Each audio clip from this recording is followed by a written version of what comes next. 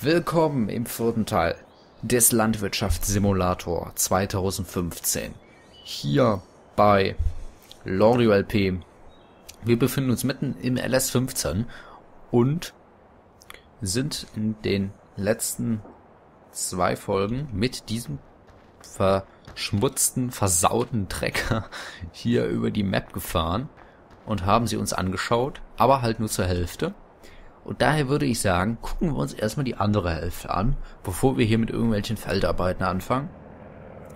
Und wir müssen uns noch den Güterbahnhof, den Getreidespeicher, die Molkerei, das Küstendorf und die Transportfirma angucken. Also die komplette rechte Seite der Map. Die linke Seite haben wir uns in den letzten Folgen angeguckt. Äh, schaut einfach in der Playlist oder einfach im Kanal. Guckt einfach ab Folge 1 oder Folge 2 oder Folge 3 guckt euch an und dann wisst ihr mehr. so, wir fahren jetzt weiter mit diesem richtig dreckigen Trecker. Wir müssen jetzt erstmal schauen, wie wir hier rauskommen. Eigentlich müssen wir wieder hier zurückfahren. Damit wir nämlich hier lang, damit wir nämlich äh,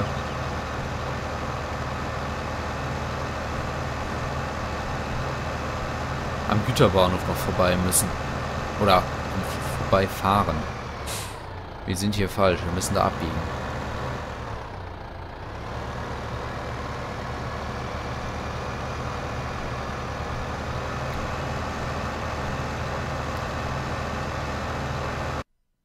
Ach, hier, ich habe mich, mich gerade gefragt, wo dieses HUD ist, H-U-D.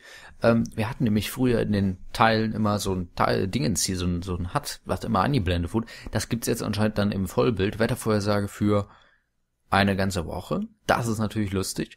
Dann Nachrichten, äh, Finanzen, Lagerbestand, Preise, Fahrzeugauswahl, wo die Fahrzeuge überall stehen. Das ist auch ganz gut. Wachstum, Fruchtsorten, auch nicht schlecht. Tierbestand und Gesamtstatistiken.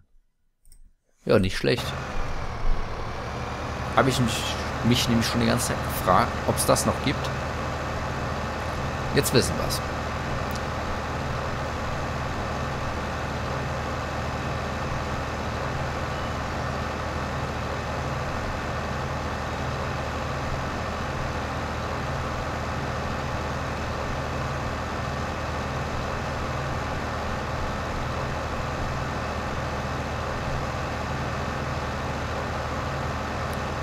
So, und jetzt links. Oh, wir haben nicht nach Autos geguckt, aber da war keins. Zum Glück. So, wo sind wir denn jetzt hier? Ein schönen Waldparkplatz.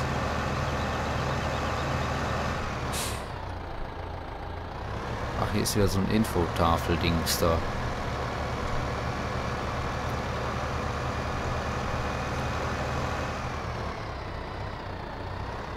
Hier ist der Güterbahnhof.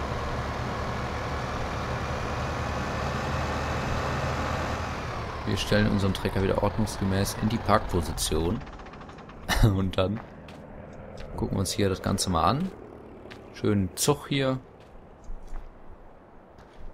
Aber wir können leider... Doch, wir können da drüber. So, ach, hier können wir auch wieder den Zug losschicken.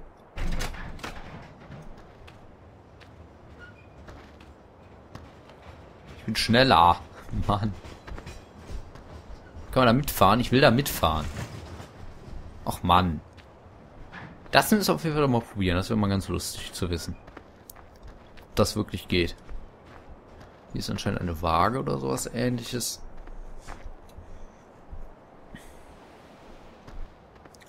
Ja. Ansonsten gibt es hier nicht so viel. Hier gibt es noch eine Tankstelle. Noch ein paar Parkplätze. Und das war es dann auch schon. Also hier kann man höchstwahrscheinlich auch einfach nur die Sachen abfüllen. Ja, fertig. Dann fahren wir zum Getreidespeicher. Mal gucken, ob es da interessanter wird. Wir klicken jetzt nochmal aufs... Ne, kann man nicht. Schade. Lustig zu wissen, was dann passieren würde.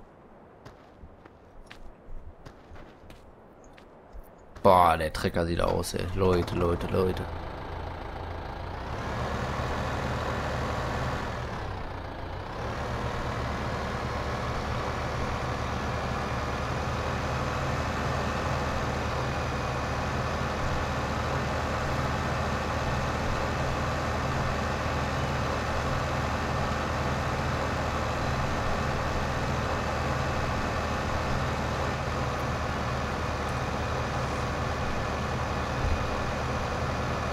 Ja, was haben wir hier? Was ist das denn für ein Schild? Ähm, Wald, Waldhaus.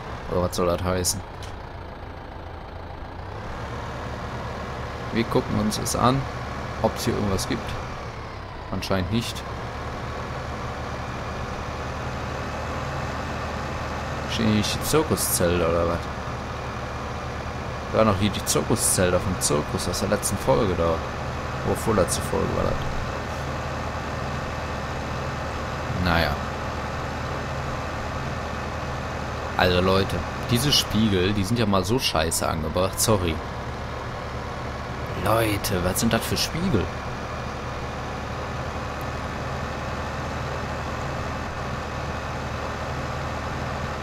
Hier ist jetzt der Getreidespeicher.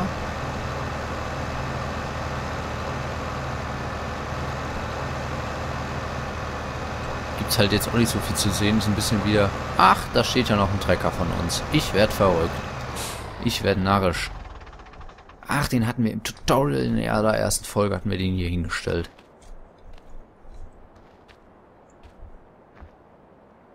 Ist ja der Knaller. Getreidespeicher. Okay, wir fahren weiter mit unserem hier.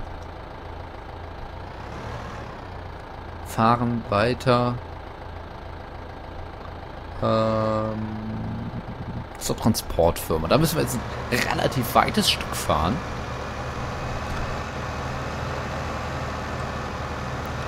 Nein, da wollen wir nicht lang. Da geht es nämlich zum Bauernhof.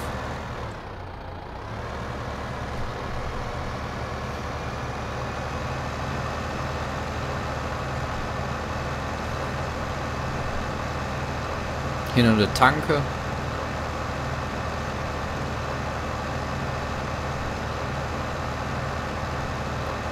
So, und jetzt hier schön bergab. Aber dieser Trecker fährt nicht schneller wie 42, auch wenn es bergab geht. Kack egal. Er behält sein Tempo bei.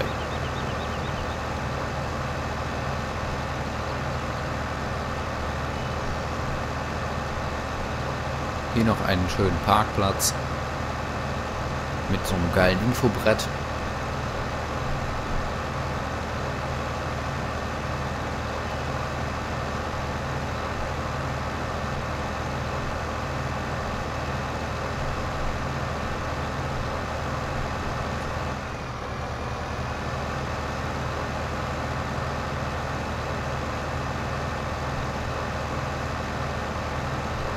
So, da unten ist Transportfirma.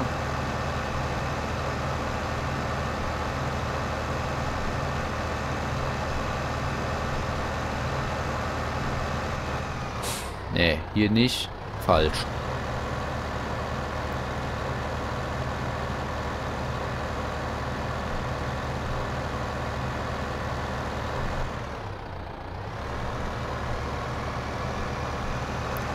Hier ist Transportfirma. Ja, hier gibt es noch weniger zu sehen. Nämlich nichts. Schade. Aber da laufen Leute. Da gehen wir die Leute wandern hier.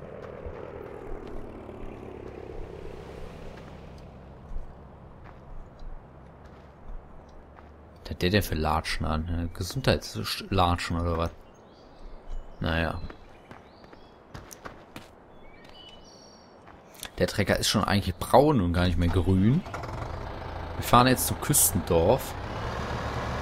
Vorher noch bei der Schafsweide vorbei. Obwohl das Küstendorf eigentlich hier anfängt. Und hier ist jetzt auch die Schafsweide, eigentlich mitten im Dorf.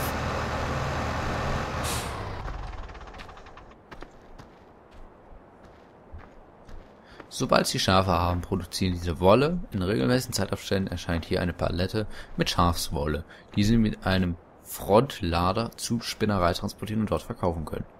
Okay, also hier stehen die Schafe mitten im Ort. Ähm, boah, guck dir die Auspuffrohre an, ey. Da geht ja richtig was hier.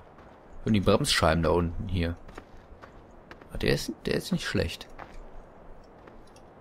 Schick, schick. So, wir gucken, was wir noch so machen können. Oder was wir uns noch angucken können. Wir gucken uns jetzt das Küstendorf an. Dazu schalte ich hier in die Großumsicht. Damit wir uns auch alles angucken können. Weil das ist schon ein richtig großes Dorf jetzt hier. Fahren wir hier runter zum Hafen. Hier kommt doch richtig Urlaubsfeeling auf, oder? Das ist doch wohl geil. Einfach nur geil. Zack, da drüber. Das ist doch richtig geil. Ach, wir gehen jetzt mal zu dem Leuchtturm. Wir tümpeln die Boote irgendwie mitten im Dings rum. Aber hier gibt es sogar einen Strand. Ist das schön oder ist das schön? Hier sind aber keine Leute. Was ist das denn für ein Scheiß?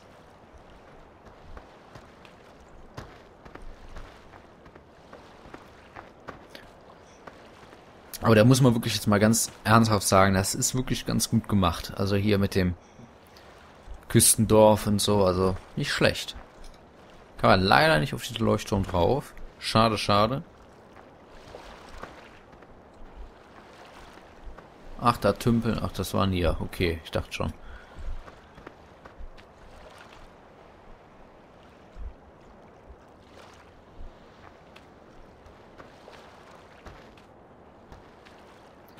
Hier kann man mit dem Trecker theoretisch sogar über so einen kleinen Feldweg hereinfahren. Macht aber ja nicht den größten Sinn. Was, was will man da am Strand?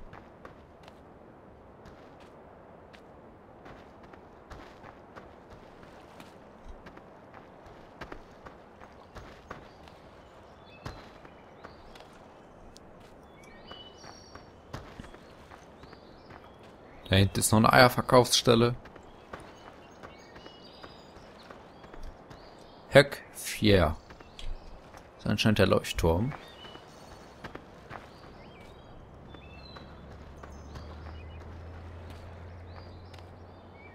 Tankstelle hier im Ort. Ach, und hier ist noch eine Eierverkaufsstelle. Haben Sie Hühnereier bei sich, können Sie die sich hier verkaufen, indem Sie einfach das pulsierende Symbol laufen.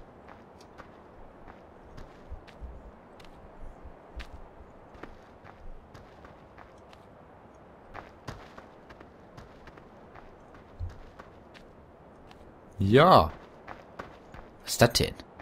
Ist hier eine Feuerwache im im äh, Stein oder was? Soll das darstellen? Komm hier hoch. Ist hier noch irgendwas? Was soll das denn dann hier sein? Ist ja interessant.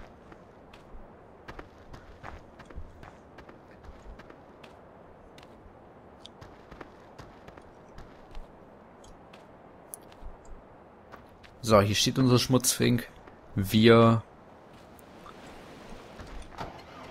fahren jetzt noch bei der Molkerei vorbei und dann sind wir mit unserer Entdeckungstour soweit auch durch.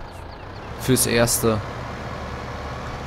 Wir werden dann in der fünften Folge gucken, dass wir schon mal anfangen mit den, ähm, wir müssen umdrehen. Mit den ersten Arbeiten, ähm, auf den Feldern. Wir müssen schauen, dass wir die Arbeiten noch fertigstellen, die wir da gemacht hatten. In der ersten Folge im Tutorial. Die müssen wir auf jeden Fall fertigstellen. So, rechts abbiegen einmal.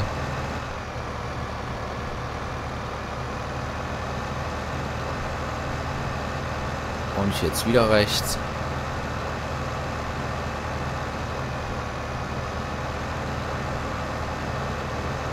Jetzt links.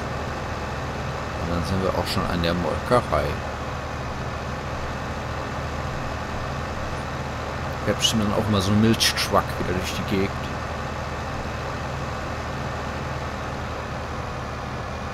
Oh. Das war nicht geplant. Ähm. Ansonsten ist hier auch nichts. Kann man halt... Ja, ich weiß gar nicht, ob ich überhaupt was machen kann oder ob die Milch nicht einfach abgeholt wird. Ich glaube nämlich nicht, dass man hier irgendwas abladen kann. Zapfen ja die Milch nicht selbst. Also von daher glaube ich eher mal weniger, dass wir hier irgendwas machen können. Hier könnte man rausfahren, dann könnte man zum Hof wieder fahren. Ich würde sagen, dass wir das auch machen. Und dann sind wir durch mit dieser Folge. Und dann werden wir in der nächsten Folge anfangen mit dem falsche Richtung, mit dem äh, Bearbeiten der Felder.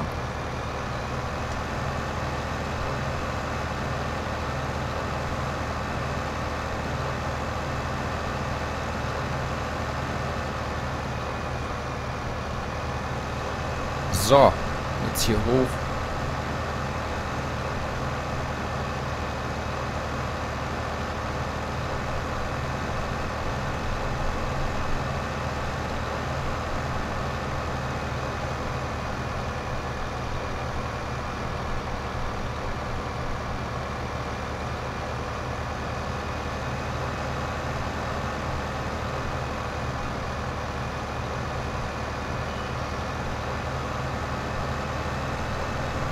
So, hier sind wir am Bauernhof wieder. Und wir stellen diesen Trecker jetzt erstmal irgendwo in der Halle. Aber wohin, das ist die Frage. Ach, wo stellen wir den denn jetzt mal hin? Ich würde sagen, einfach mal hier rein. Sauber machen können wir den noch nicht, da müssen wir erstmal eine Kercher-Maschine für holen. Wir haben leider auch aktuell keine Maschine, die, wo man einen Frontlader dran machen kann. Deswegen glaube ich gar nicht, dass wir diese Kercher-Maschine überhaupt äh, dann da abholen können. So, also dieses Ding ist auf jeden Fall ja, dreckig, würde ich mal so sagen. Äh, wie kommen wir jetzt hier raus? Da. Hier liegt noch ein Gewicht rum. Also, wir sehen uns dann in der nächsten Folge wieder. Da geht's dann ans Dreschen oder ans Grubern. Entweder oder, das ist die Frage. Wir werden sehen. Wir sehen uns auf jeden Fall in der nächsten Folge. Macht's gut, bis zum nächsten Mal und tschüss.